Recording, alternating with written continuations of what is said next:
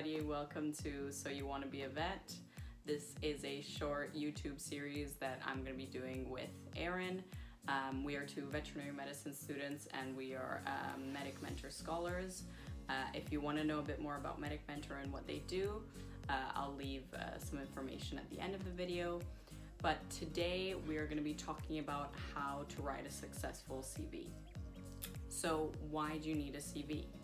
A CV is really important because it's basically a comprehensive record of your professional activities, um, your history, and it also includes your academic credentials. Um, but it's sort of just a big script that basically represents you to um, employers and also to admission staff, which is uh, the case, especially for a veterinary medicine CV. So, before we get into all the nitty gritty, I think it's really important for us to go through the structure a little bit so everyone's clear. So, I think a good way to start any CV is just with your basic information so, your name, your address, your number, and your email address. And those should be at the top. And you can include a picture if you want, but it's becoming less popular to do so nowadays. Um, and underneath that, I would go on to a short bio, which I will go into a little bit more in detail later. Uh, and it only needs to be a few sentences. Uh, doesn't need to be long at all. It's just to give them like a little taste, like a little introduction to who you are and what you're about. Then it's really important to move on to work experience, uh, which should kind of be the bulk of your CV. It's really important to have it broken down really clearly into clear, concise sections so that they have a clear understanding of what everything that you've done is in your work experience, it's really important to have dates um, and a location if possible, but that's not always necessary. Um, but it's really important to at least add one sentence to each work experience uh, to highlight a little bit about the position so that they have a little bit more of an idea of what it was about. Then I would go on to education, which is also really important, especially if you're it's your first time applying to something. So with your education, you just want to list uh, in reverse chronological order your schools that you've been to.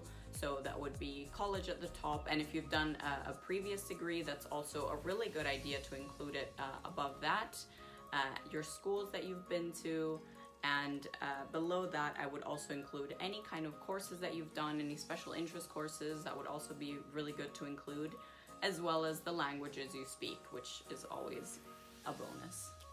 It's also an option to include a key skills and achievement section in your CV, which is just a little sort of like quick fire few things that you can just highlight about yourself um, without putting it in a long chunky paragraph. And this is really helpful because it also allows to keep your CV a little bit shorter, which is also really helpful. I think especially for admissions officers or people looking at a lot of CVs, it's always better if they have you know, one short one that's nice and concise and well organized than having one which is like three pages long with a lot of wording, a lot of paragraphs, um, which is just gonna take them longer to read. And so if yours is short, concise, and pops out, then they're really gonna appreciate that and it'll really stand out.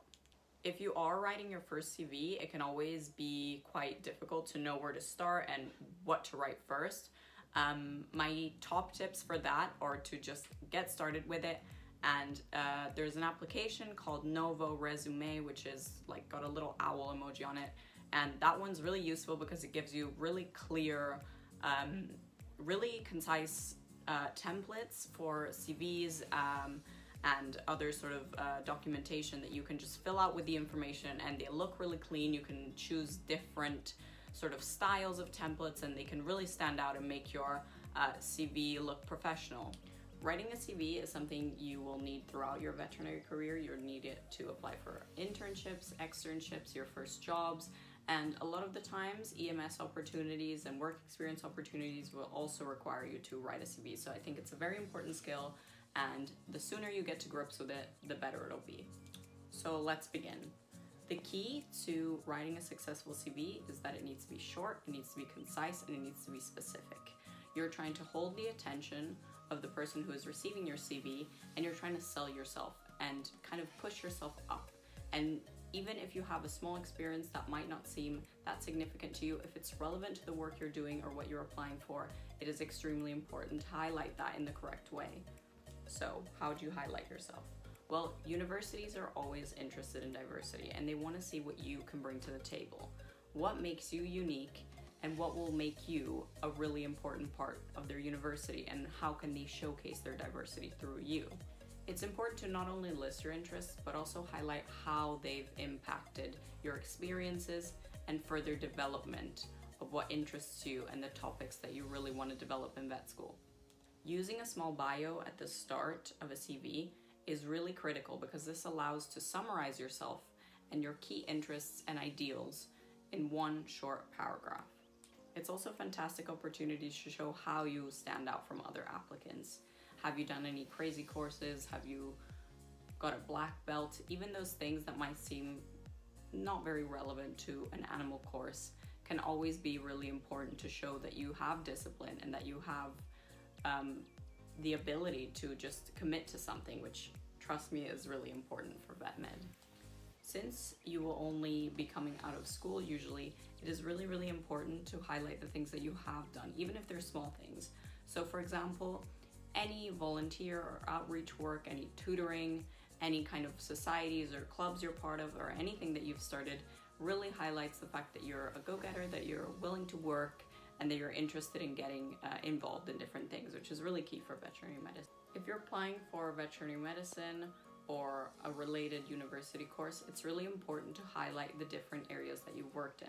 So if you've done work experience, worked in a stable, it's really important to separate them out, especially by species or by practice. So that would be small animal, farm, equine, poultry, or whatever it is. And it's really important for each section to add some details as to what you learned, what you enjoyed, and what is the key thing that you took away from this placement. Writing your first CV can seem like an extremely daunting task because sometimes it is, especially if you've never written one before and you're not familiar with the format. So I think it's really, really important to get help from your career advisors, online resources, um, as well as your peers. Um, for example, my brother helped me so much to put mine together, and it really made me feel comfortable because I had someone who had looked at it, who'd highlighted some things, and who'd given me feedback. And remember, feedback is super important and as well something that is so important in veterinary medicine that you're gonna have to get used to it. I hope you found this useful. These are just a few tips and tricks and a little summary of things that you need to keep in mind when you're writing a CV. Obviously, it's not an extensive list. Um, there's so many things that could be included, but I think these are really key, specifically for veterinary medicine CVs.